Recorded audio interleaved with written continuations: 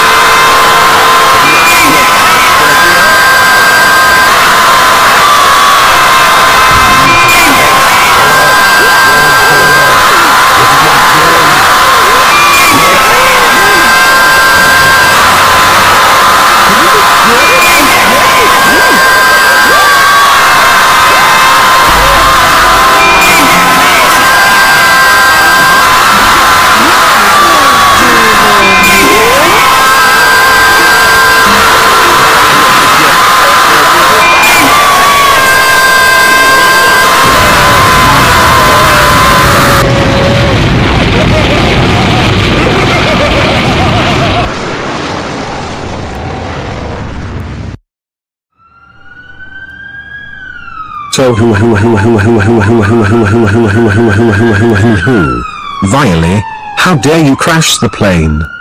Now thanks to you, you killed a lot of people, but we survived by GoAnimate logic.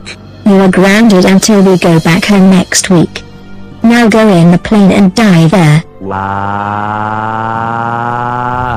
It's okay guys. How about we go to the Carowinds amusement park tomorrow? Great idea honey.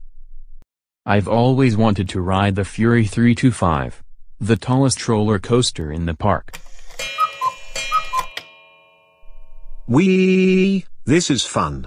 Isn't it honey? Yes, this is really fun. It is more fun without Violy.